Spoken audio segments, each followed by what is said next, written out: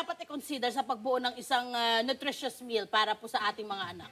Well, dapat nyo i-consider talaga is yung variety actually Yun, and how yung um, you're still incorporating Mm-hmm. your uh, the uh, nutrition to the food of your kids. Mm-hmm. So, yun nga, babalik tayo sa Chow Baby Manila, you will feel at ease here kasi not only that um, our meals are actually pediatrician approved, Ayun! uh, nutritionist approved din. And Oo. we have a team of culinary expert that Mm-hmm. actually prepares your meal na para iba-iba yung meals ng bata sa Yun ang, yun naman ang araw-araw. maganda doon. At least, di ba, meron tayong mga eksperto na tumulong para buuin po yung mga pagkain nito. O, so, at para magka-idea po kayo kung ano ang healthy meal na swak sa inyong anak, may mga hinanda, hinanda po rito si Miss Kathleen, dinala po niya rito sa ating studio. Isa-isahin po natin ang mga ito, okay? So, ma'am, ano po yung umpisahan natin dyan? Ah, sige. Ito. Pusihan natin. Okay, a- aside pala sa sa ano sa to- sa toddlers Mhm. kasi ah, ito yung mga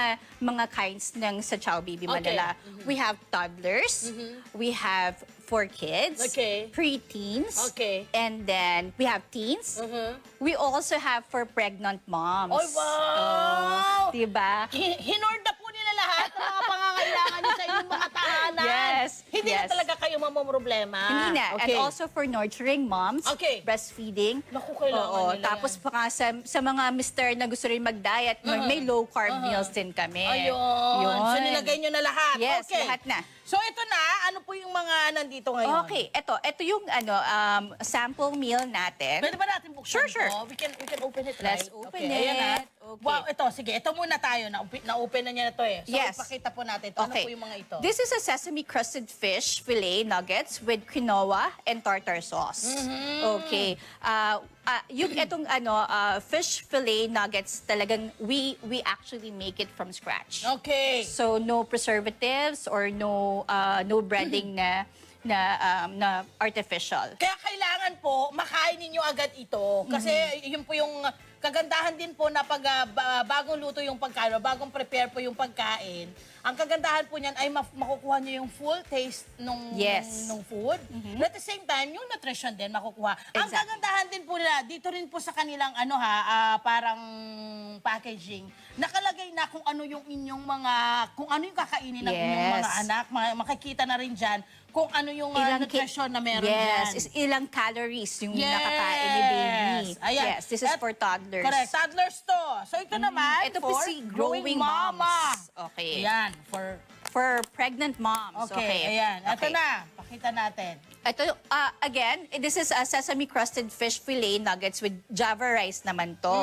And tartar sauce. Mm-hmm. Okay. Yan. Ayan, for mommy. For babies. Dito tayo Mm, for ito, babies. for toddlers. It- Here, Ito, toddler. Toddler. Ayan, toddler. Ito, ano naman po ang meron dito? Ay, sorry ha. Pasensya naman. Ayan! Okay. Wow, interesting to ha.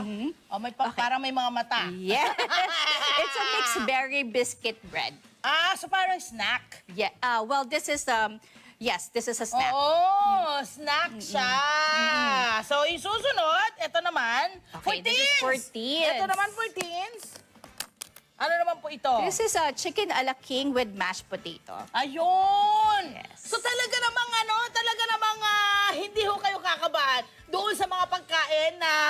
makukuha po ng mga anak ninyo. Okay, paano po makukumbinsi yung mga anak Hmm. naman na talaga naman napakapihikan, picky, kumain ng, na- ng tamang food? Okay. So, ganito, ah also, ang kinagandahan sa meal delivery namin is Mm-hmm. that not only that we cater to um, uh, what do you call this, uh, to all your needs. Okay. But we also cater to um, customization. Ah,